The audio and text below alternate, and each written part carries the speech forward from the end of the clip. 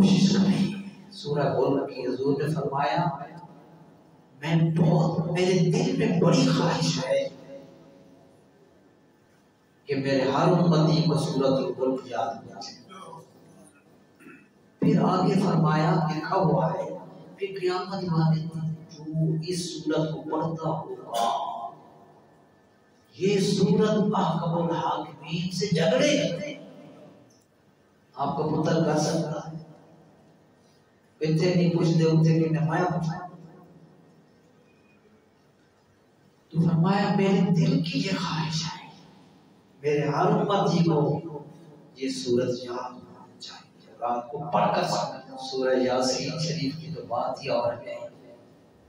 मैं इन दो सूरों की फजीलत से आज बता रहा मैंने मिशका शरीफ और मैं पढ़कर आज बैठा जो बंदा खुद अमल करता है उसका उसका सुकून और जब से मैंने पढ़ा, सूरह यासीन की इतनी फजीलत और फिर जब मैंने ये देखा कि सरकार सब हिजरत के वक्त चादर ओढ़ कर सात काफिर की तलवारें लिए हुए हुजूर के दरवाजे पर पहरा दे रहे थे और कत्ल करने की, शहीद करने की, जिनको जिनकी सरबराही, जिनकी क्यादत अबू जहल जैसा फिरौन कर रहा था।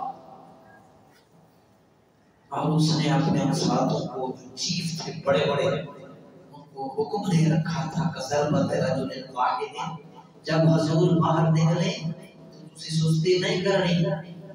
आगे पीछे भी नहीं होना। ये साधु के साधु ने मिलकर यकदम तलवार चलानी है जैसे एक ही तलवार चली हो। वही होता है, मंजूर खुदा कसम, मैंने पढ़ा है क्या नबी कसर बदे रजुल वाहिद तो मेरे बिरादरान, महबूब की रोशनी का टाइम आया। कायनात इंसानी को, मुस्लिम उम्मत को ये बताना था कि दीन के लिए घर छोड़ना पड़ता मेरे करीम आका चादर ओढ़ी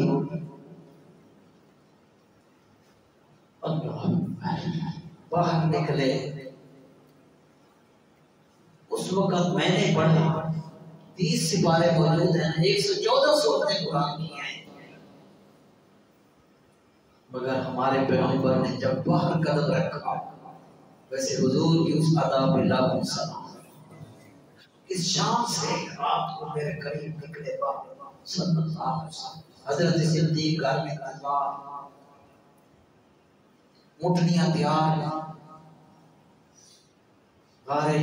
सौर तक तो पैदल जाना था। बस चादर ओढ़कर हुक्म ये था। आप बाहर निकले, चादर ओढ़कर निकले। ज़ुबान पर एक सौ चौदह कुरान की सूरतें हैं,